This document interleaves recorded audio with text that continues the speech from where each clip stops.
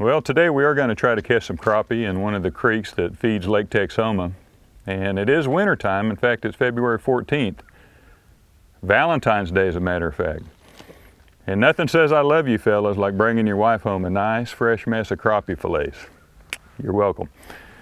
Now most people don't think about creek fishing for crappie in the wintertime and the lake temperature is still quite low right now. It's about 43 degrees in Lake Texoma. And crappie usually don't spawn here in Oklahoma, meaning run up the creek to reproduce until the water temperature is in the mid to upper 50s. But a lot of times crappie will find a hole in the creek where it's got plenty of depth and most importantly lots of bait fish where they'll basically congregate or stage waiting for the conditions to be optimal for that reproductive run up the creek. And so it's a good time while they're in there feeding and getting their fat and energy reserves built up to, to catch a few and that's what we're going to try to do today. Now I'll be the first to admit that I'm a cat fisherman by trade, used to 11 foot surf rods and four ounce bell sinkers and 30 pound test line, so I probably lack the finesse to be a, a good crappie fisherman. I'm certainly no expert, but willing to give it my best shot today. Everybody enjoys catching crappie and particularly eating them, and I'm no exception to that rule. Top secret. All right, got a fish on the string. Hopefully he doesn't tell his buddies what happened. Hey Dave, you want one of these? I'm gonna try a little bit longer. If you catch another one, I might get interested. Okay. Yeah, any of the lakes here in Oklahoma, in fact, the vast majority of them do hold crappie. And all crappie will, of course, spawn in the spring. And if there are creeks, which there are in 99% of the cases that feed these lakes, or even rivers, they will go up the river or creek a certain distance till they find a suitable place to stage. And like I said, that usually entails having deep enough water where they won't freeze out because it is still wintertime. But most importantly, having lots of bait fish like little shad and minnows that they can feed on and really fatten up because it's an energy exhaustive trip to reproduce and make that next generation of crappie. So they're, they're not moving a whole lot at that point. Now, of course, there are crappie that still stay in the lake and they'll spawn along rocks and so forth. But those that do like to run up the creeks, you can often find them in holes that have some depth and have some prey fish in the dead of winter time. Where'd you catch that one on, Zach? Just dark color. Yeah. Curly. Yeah. That first one was on the other kind.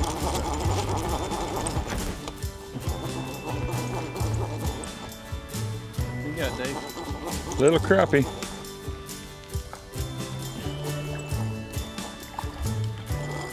Yeah, that's big enough to eat. Nice one. That was a dark one too. It only took 250 throws, but we got him.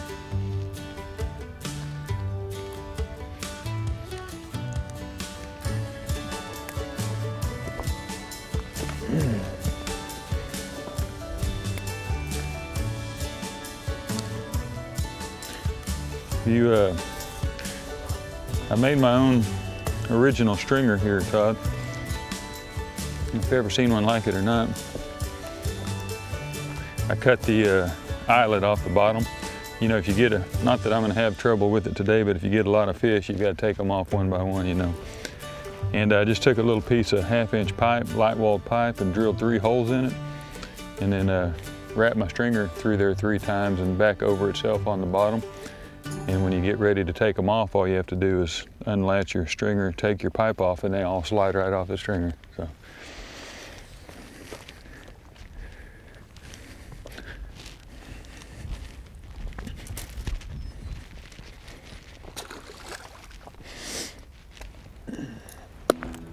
Yeah, that was fun. I'm going old school today. As you can see, I've got my 1970s model Zebco 606 spooled with 12 pound test line because that's the lightest I had at home. I've got an old medium light two piece rod here, but it kept flying apart on me, so I put a little JB weld on there, problem solved. And that'll probably be why I won't catch a fish today, but I'm gonna give it a try. Gonna be using an eighth ounce jig head there. This one's kind of a green and yellow, chartreuse and yellow.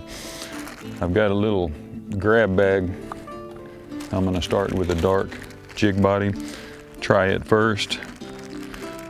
And let's see what I have here. I think I'm gonna try one of these uh, dark colored, tricolored swirl tails. It's about a two inch uh, twirl tail grub basically, and it's got a, a brown and a light purple body and a chartreuse tail. So that'll be the first thing I try, and we've got lots of other colors and supplies we can try if that doesn't work. And crappie are finicky, so it may take a while to get honed in on them.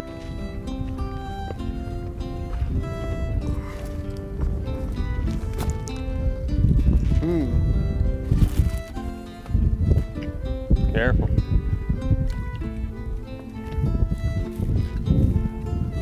Now, if that's not a slab, I don't know what is. Hold that thing up here. Oh,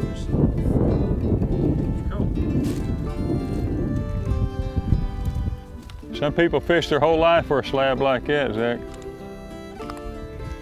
or five minutes.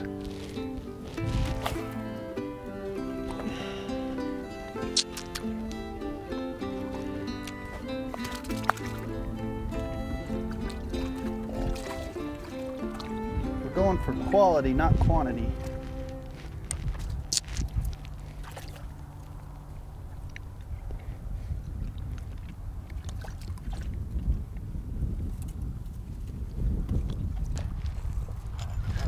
I'm not Bill dancing him, he's a nice crappie.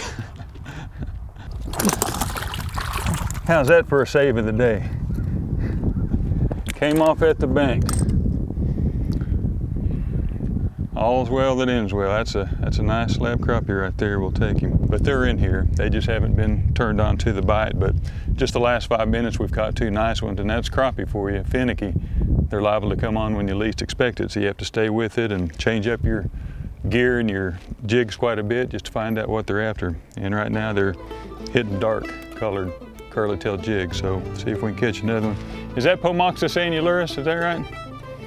Pomoxis annularis, scientific name.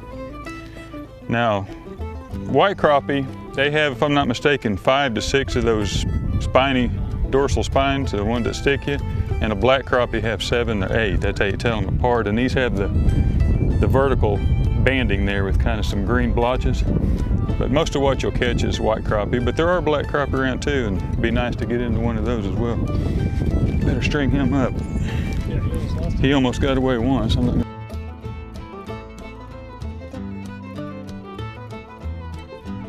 there's one.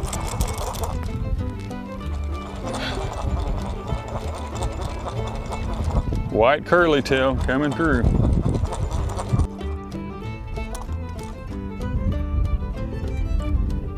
Yeah, that's a beauty.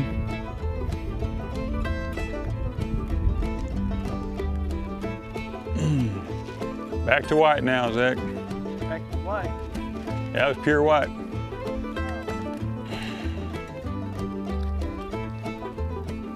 Not moving it still? Yeah, but not much. Not getting aggressive at all.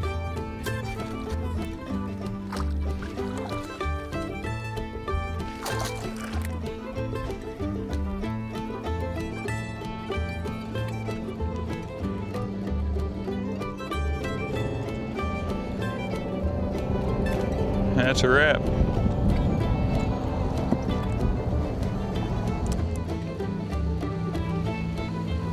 Well, we didn't slay 'em, but got enough for supper, didn't we? Yep.